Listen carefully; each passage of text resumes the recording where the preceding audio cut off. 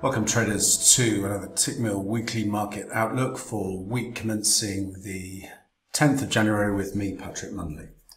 Starting in the US next week, really, uh, inflation remains top of mind with Wednesday's release of US CPI for December.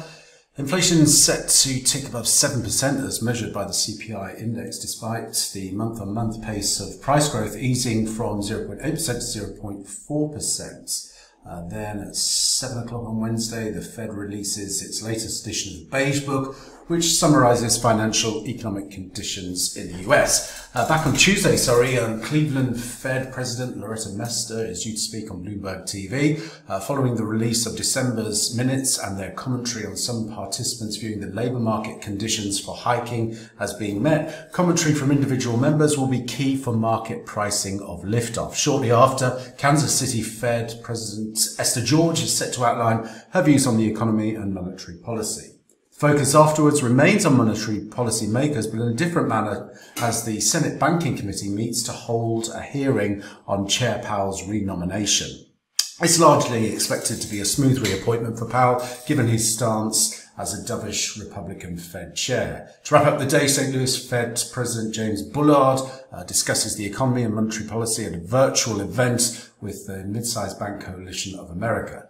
It is worth noting that all Fed presidents set to speak on Tuesday are voting members in 2022. Then on Thursday, we get US PPI data for December, and the latest jobless claims data is released. Also, core PPI is set to rise from 7.7% to 8% as supply chain disruptions continue to bite, while jobless claims data will be viewed in reference to December's non-farm payrolls release. Senate Banking Committee then reconvenes for a nomination hearing on Lael Brainard's appointment as vice chair, while both both hearings are important from a market perspective. Both appointments still require the full support of the Senate before they become uh, final. Uh, wrap up the day then uh, on Thursday with uh, Richmond Fed President Thomas Barkin, who's set to discuss his economic outlook at an event hosted by uh, the Richmond Chamber with Chicago Fed President Evans set to speak also at an event hosted by the Milwaukee Business Journal. Both members are set to vote again in uh, on policy in 2022. And then we round out the week in the US on Friday with retail sales. Sales increased 0.3% in November, having surged 1.8% in October. This was the fourth straight month of gains and likely a response to consumers' tendency to shop early ahead of the holidays to avoid disappointment of empty shelves. A rotation in spending from goods back to services may also remain a drag on the data. From a technical perspective, in terms of the dollar index, tracking this corrective, complex corrective pattern. Ultimately now, whilst we hold resistance 96.55, we look for a test of the equality objective 95.08. We have monthly projected range support coming in just above there, 95.18. And we have this pivotal trend line support as well. So I'm watching for bullish reversal patterns in this area to engage on the long side, ultimately then looking for a move up into the 97.40s to 98.14 as a uh, as an upside objective uh, versus the uh, support at the 94.90s. At this stage, really, it would take a loss on a closing basis of the trendline support to suggest that we have a more meaningful high in place and we could start to think about a move back down to take a look at the yearly pivots from above at 93.89.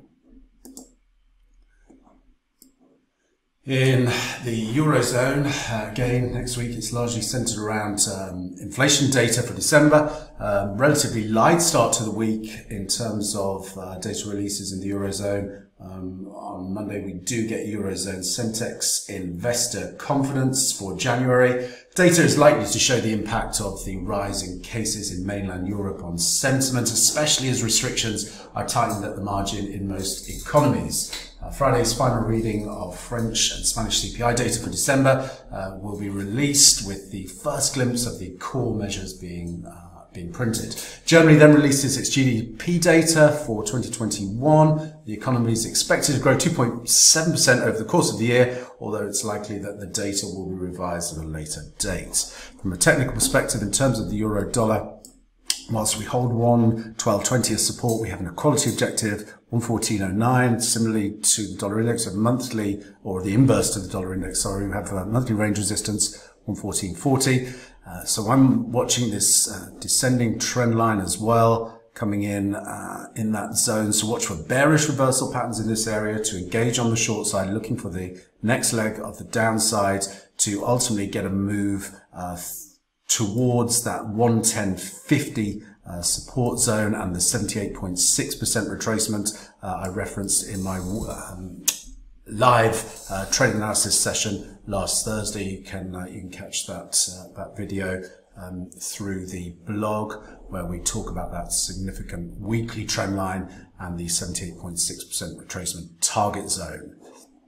Uh, we don't have any uh, tier one data in terms of Japan next week, so we'll just quickly update the technicals here. Whilst we hold support at the uh, 115 level, I'm ultimately looking for another leg of upside to test the 117.30 area. We also have that quality objective target there uh, coming in at uh, 117.50, uh, 117.70 monthly projected range resistance and the uh, ascending trend line resistance all coming in in that target zone. So watching for bearish reversal patterns in this area to engage on the short side, certainly thinking about a retest of trend line support at 115.30 and maybe a more meaningful pullback to take a look at monthly projected range support coming in 113.80 in the UK next week. We have Tuesday, UK retail sector will be in scope as the BRC like-for-like sales data for December is released. After rising to 1.8% in November due to the impact of Black Friday and earlier seasonal shopping in order to avoid supply chain issues, sales are likely to flatline in December. And also on Friday, we get UK GDP um, for uh, GDP at 0.5% month over month for November and 7.6% year over year, uh, mainly due to slightly faster growth in the uh, services sector. But any momentum looks set to slow temporarily in the coming months due to the spread of Omicron.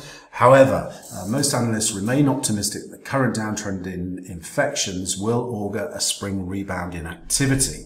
From a technical perspective, sterling dollar is just shy of testing the pivotal trend line resistance coming in 136.20. We have the yearly pivot just above 136.45. I'm watching for bearish reversal patterns in this area to engage on the short side. Certainly then thinking about a test of the um, monthly pivot back down to 134.14. If we can get through there and monthly projected range support prior lows in the 132 area, then we still have that open quality objective at 130. But um, initially we want to pay close attention to how price responds here at the yearly pivot. If we get a close through the yearly pivot, then I'll be switching to a more bullish stance on sterling and certainly then thinking about a retest of the 138.36 to the upside. So all eyes on the trendline test and the yearly pivot, watch for bearish reversal patterns there to engage on the short side.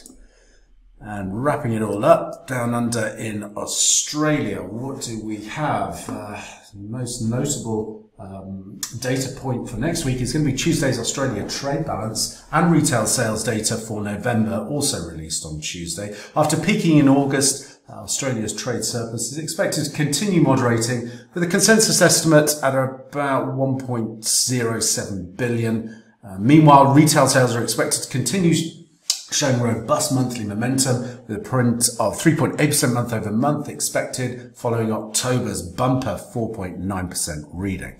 From a technical perspective, as the Australian dollar uh, holds 7120s as support. I'm looking for another leg to the upside to ultimately get a test into the yearly pivot and the descending trend line coming in around 7420s. From there, I'll be watching for bearish reversal patterns to engage on the short side. At this stage, um, the negating the extended corrective move would really require a close back through that uh, 7120 area on a closing basis, which would then set up a retest of the price cycle low 69.90 and then on down into uh, trendline support 68.60s. But like I say, whilst we hold uh, Friday's lows, then we look for another leg to the upside before engaging on the short side once again. And that concludes the weekly market outlook for week commencing the 10th of January. As always, traders, plan the trade, trade the plan, and most importantly, manage your risk. Until next time, thanks very much.